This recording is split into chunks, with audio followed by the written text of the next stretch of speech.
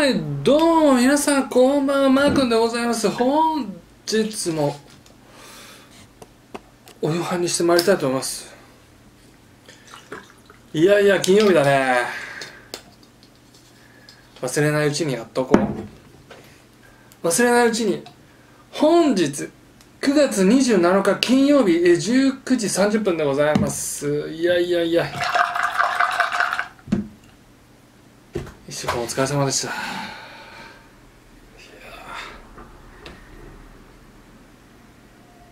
いじめる。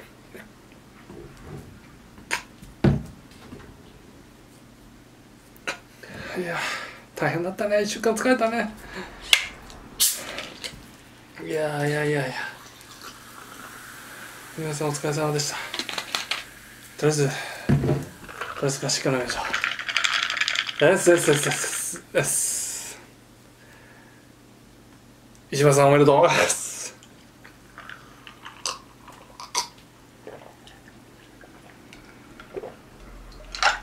いやおいしい。本日のお夕飯えー、カツオの手こね寿司。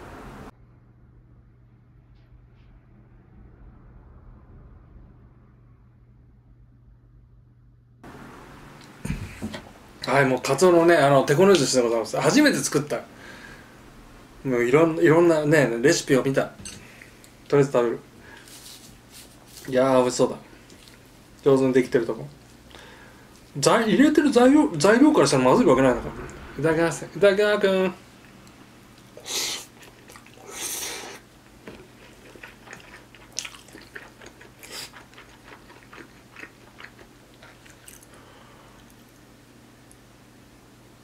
バースト芸人は。素晴らしい。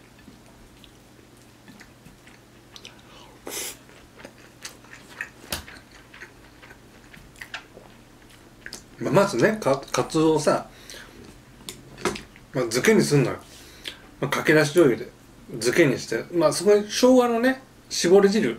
生姜をすりおろして、まあ、絞った絞り汁を入れて。で10分か15分ぐらいつけといた。でご飯炊いてね酢飯にして水缶簡単ですよ。でそこにあの生姜の千切りと大葉を混ぜて。で漬けにしたカツオを入れてこうさらに混ぜたっていう。作り方ですね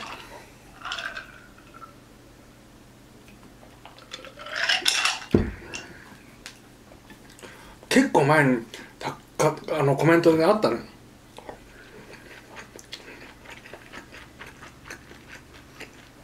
あのカツオの手手こね寿司っていうのをね作ってみてください。美味しいですよって。いつかやろういつかやろうと思って。ついに今日やりました。これ美味しい。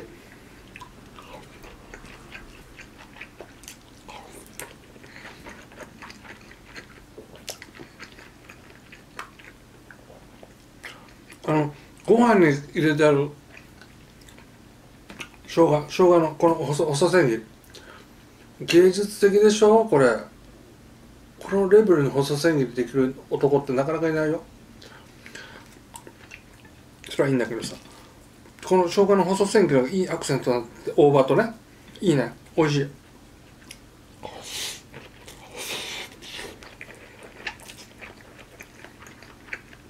うん。確か三重県だったかな郷土料理。でいろんなレシピがあるのよ。あのみょうがを入れるレシピとかね。ネギネギも入れるとかね。いろいろあったんだけどあの三重県のねホームページにあれ？三重県だ三重県でいいんだっけ？ごめん間違ってたらごめん。ごめんねほんと。間違ってたマークも今日初めて作ったの。その県のホームページに郷土料理みたいなの載ってたレシピはみょうが入ってなかったからみょうがを入れないか。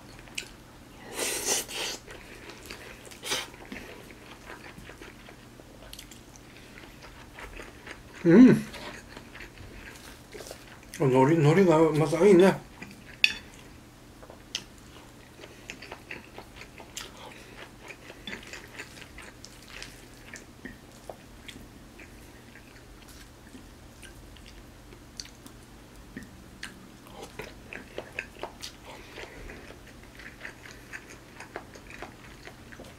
まあ酢飯も好きだしね。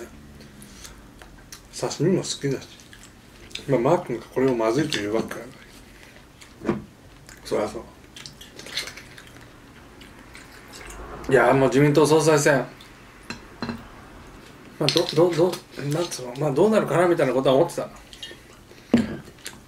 な何人立候補したんだっけ？9人だっけ？最終的に。多分 9, 9人だと思うんだけど、まあ、票は割れるだろうなと思って。で過半数まあ9人も出てさ1人が過半数なんてことありえないじゃん。取れないから決選投票になるんだろうなと思ったけど。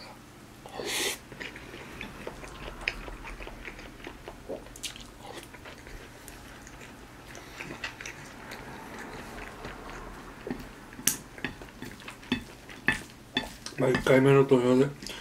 高市さんが高市早苗さんが1位で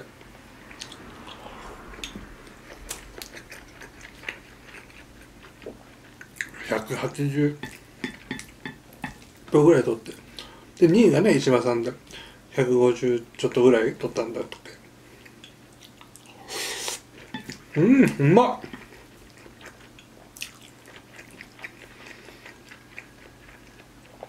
ご飯に生姜とさ大葉が混ざってるってのが美味しいね。お寿司に切ってさネタの下にさ大葉とか引いてさ上に生姜のせても混ざり合わない。んだ混ざってるの美味しいね。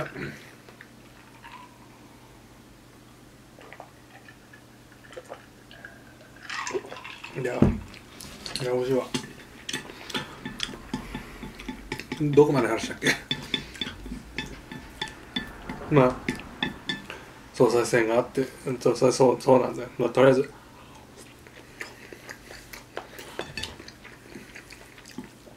よかったんじゃないの石破さん。うん。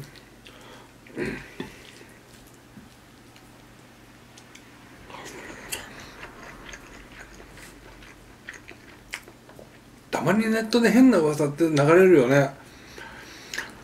これはなんか独身税が導入されるんじゃないかってありえない話とかさ。そんな。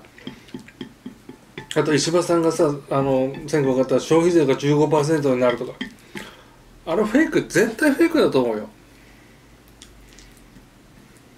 今の日本の消費税15%なんてありえない。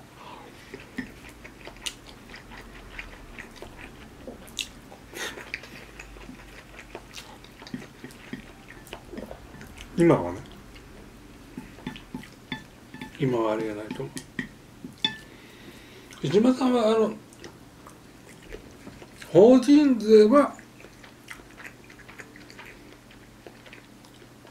上がる余地はある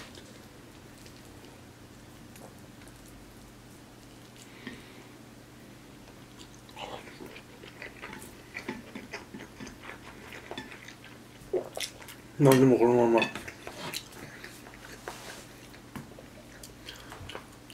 臨時国会でね。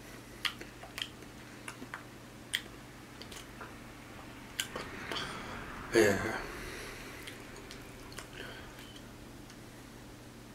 ー、何代何代目か忘れたけど総理大臣に指名されるんだよ今回のあれだよね。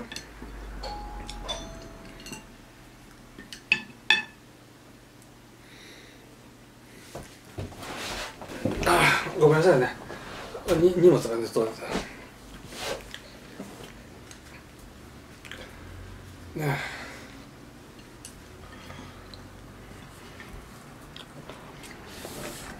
あ今今回の総裁選は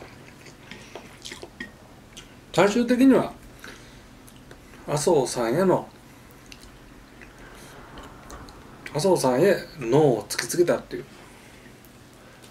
のかなっていう。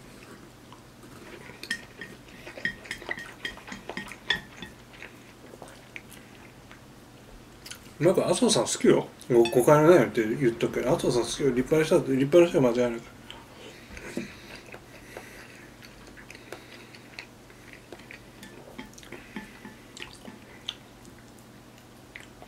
うんちょっと引き際を間違えたのかなという気がするけど。うん。もうちょっといいところでバンと引いといた方がいいよかったような気がするよ。もう84歳でいらっしゃるからね。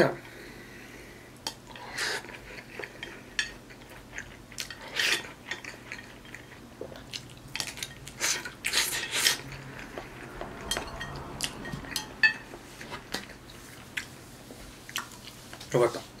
石破さんよかった。なんかずっと応援応援してたんだからずっと石破さん。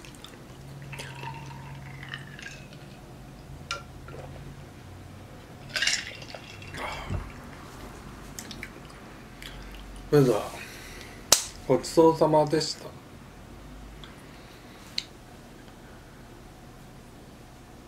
皆さんまたお会いしましょう。じゃあね